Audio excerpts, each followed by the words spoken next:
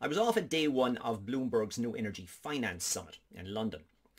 It was uh, focused on oil and gas a lot today, so three takeaways. When to pivot, blue hydrogen and carbon capture. First one, when to pivot. It was Richard Chatterton from Bloomberg New Energy Finance. Kind of went through a, a good dose of reality in terms of the challenges facing oil and gas companies today. And as they go to move to the energy transition and move away from fossil fuels, when do they do it?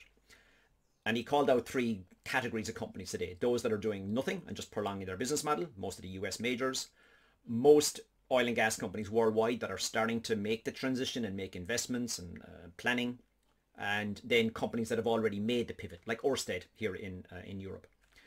But he went through, you know, the dilemma they're facing is that, well, there's still an oil and gas market.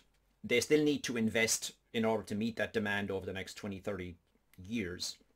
But when do they stop investing? When do they um, when do they transition away? But they still need the cash, and if you like, coming from the oil and gas, so they can make the investments into the renewable side. So it's a tough one, but it was a good, good business presentation. Second one, blue hydrogen. It was uh, Massimo Mondazzi from Eni called out the role that blue hydrogen can play. Now, blue hydrogen is basically like grey hydrogen. It comes from natural gas but you capture the CO2 that's created in the process and use things like um, um, steam methane reforming and, and, and. I need to go off and look at that because to be quite honest, the way it was presented was that that kind of technology is ready. Um, but that leads me on to the third one, carbon capture. It was uh, Bob Dudley from the Oil and Gas Climate Initiative called out and many of the oil and gas execs from Shell, Eni, uh, Repsol, you name it, that we're on today, called out the need that as oil and gas is not going to go away, we need carbon capture technologies. We do. We actually do.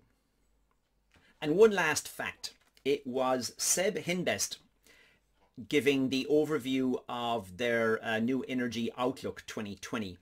He made the comment of the impact on transport of not shipping as much coal around as the demand for coal goes away.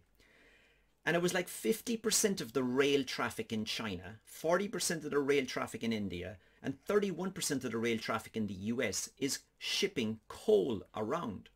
So imagine the impact on the carbon emissions of the rail industry when a, most of that requirement goes away.